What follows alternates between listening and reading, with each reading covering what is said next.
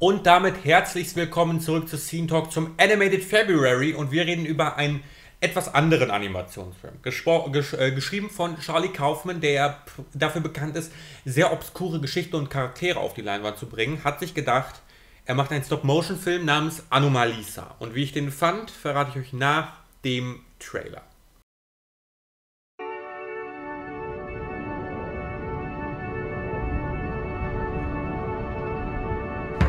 What is it to be human? What is it to ache? What is it to be alive? Each person you speak to has had a day. Some of the days have been good, some bad.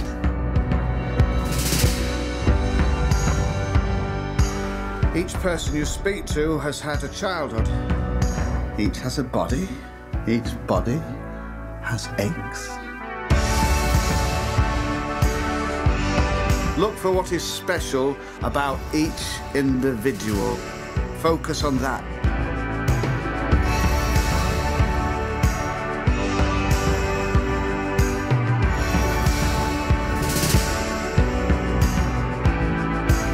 Remember, there is someone out there for everyone. I think you're extraordinary. Why? I don't know yet. It's just obvious to me that you are.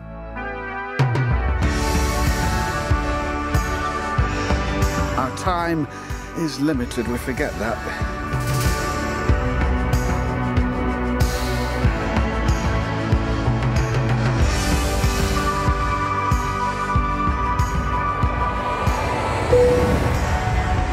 Sorry, I grabbed your hand. It's okay. It's a reflex. But I don't like to fly. I said it's okay. Can let go now, though.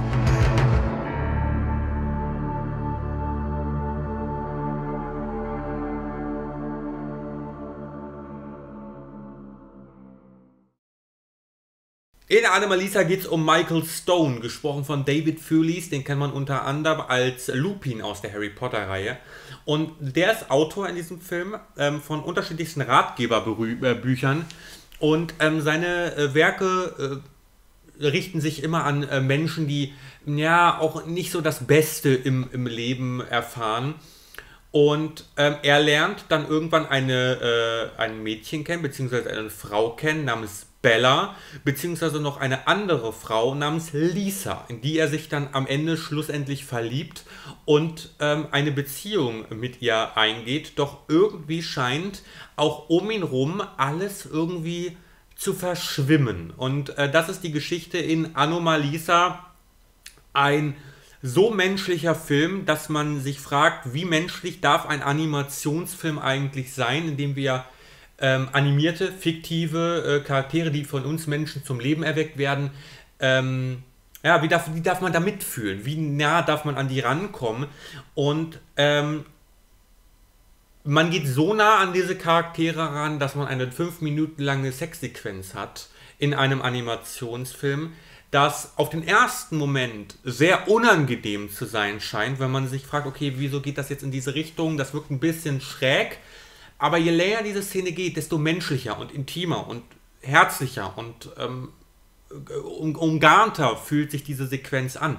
Und von dem Moment an bleibt der Film auch nicht mehr wie er ist. Er geht in eine Richtung, in eine so tiefgründige, in so eine ähm, grundmenschliche Ebene, in der wir selbst über uns nachdenken können, in der wir selbst unsere eigenen Werdegänge im Leben hinterfragen, ähm, was wir gerade tun, ob unser Job, den wir eigentlich machen, das ist, was wir unser Leben lang tun wollen. Ist die Frau an unserer Seite oder den Mann an unserer Seite vielleicht die richtige Person oder habe ich vielleicht da doch irgendwie mich falsch entschieden?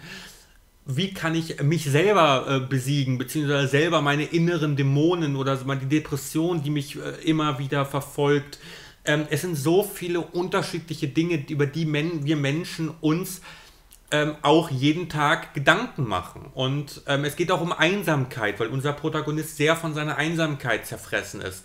Und es ist so schön, einen Film zu sehen, der nicht mit echten Menschen gedreht ist, sondern mit, ähm, mit animierten Figuren bzw. mit Stop-Motion-Figuren und man so mitfühlen kann wie in keinem anderen solcher Filme bisher.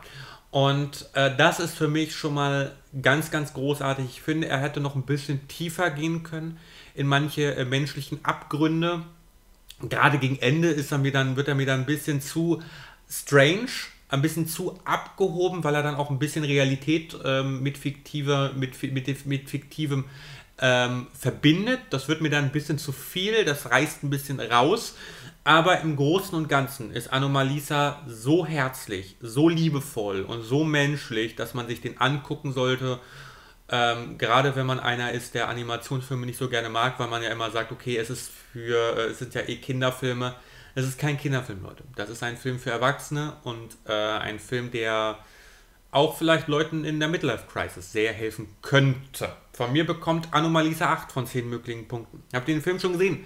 Dann schreibt es mir in die Kommentare, lasst ein Like und ein Abo da, wenn es euch gefallen hat. Ich hoffe, die Kritik hat euch besser oder beziehungsweise war fröhlicher als die gestrige Kritik von Madame Web. Die war ja ein einziger Verriss. Ähm, machen wir in nächster Zeit vielleicht erstmal nicht mehr.